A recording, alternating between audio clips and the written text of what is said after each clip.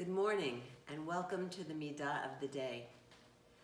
The first Midah of the day was on March 18th.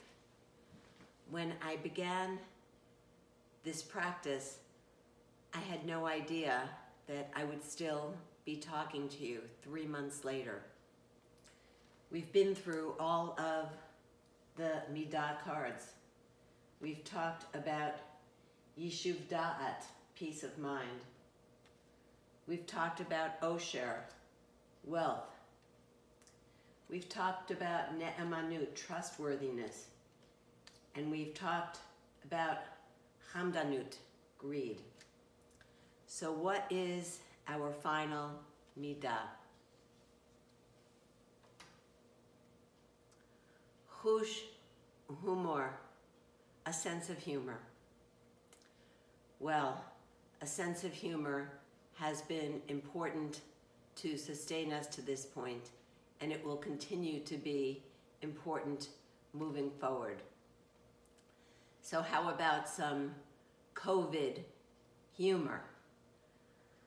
I'll share with you a few of the great lines I have heard, but don't be surprised if it takes two weeks until you get the jokes.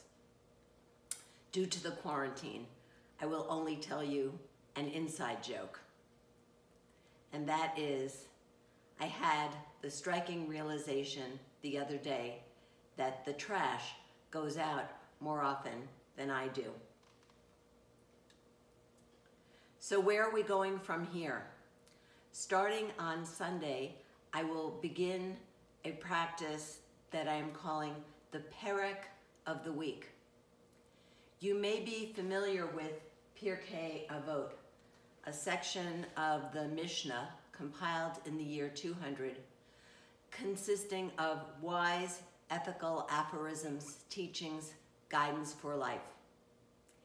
Each Sunday, I will sit down and share with you a section of Pirkei Avot, translated as chapter, chapters of the fathers, ethics of the fathers, I would say wise teachings of our ancestors, and talk about how it can be meaningful to us and inspiring to us in our spiritual growth. I'll leave you with this thought on the sense of humor. The Talmud tells us that the prophet Elijah comes to visit us in this world. And one time he was in the marketplace and turned to a rabbi and said, do you see those two individuals? They are for sure going to inherit the world to come. Well, the rabbi said, what is their great action that has led them to merit the world to come already guaranteed? And the rabbi asked them, what is your occupation in the world? They said, we are jesters. When we see people who are depressed, we try to cheer them up. How beautiful it is that we can all encourage, support, and try to cheer each other up. For this final day of the Midah of the day, I would request, please, that you put in the comments some uplifting thought, something that you find humorous, something that can help raise all of our spirits.